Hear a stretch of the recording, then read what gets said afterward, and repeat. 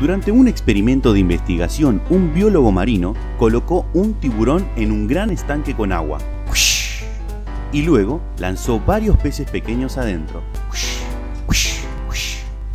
Como era de esperarse, el tiburón nadó rápidamente alrededor del tanque, atacó y se comió a todos los peces.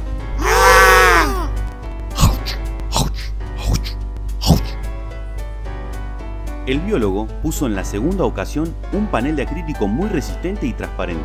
A un lado puso el tiburón y un nuevo grupo de peces en el otro lado. El tiburón volvió a atacar, esta vez sin embargo se estrelló contra la pared transparente. En reiteradas ocasiones repitió este comportamiento en vano. Mientras tanto, los peces nadaban ilesos en la segunda partición. Aproximadamente una hora después del experimento, el tiburón se rindió. Ese experimento se repitió varias docenas de veces durante la siguiente semana. Cada vez el tiburón se volvió menos agresivo e intentó menos atacar a los peces, hasta que finalmente se cansó de golpear la pared transparente y simplemente dejó de atacar por completo. El biólogo luego retiró la pared de acrílico del estante, pero el tiburón no atacó.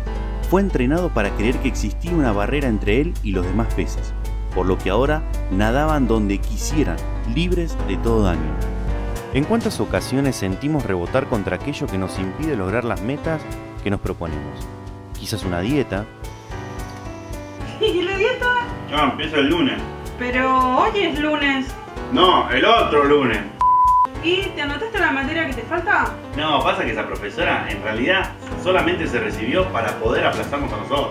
Es terrible. Ah, soy muy joven para estudiar. No, es que ya estoy muy viejo para estudiar. No, estoy demasiado ocupado para estudiar. Etcétera, etcétera, etcétera y miles de casos más.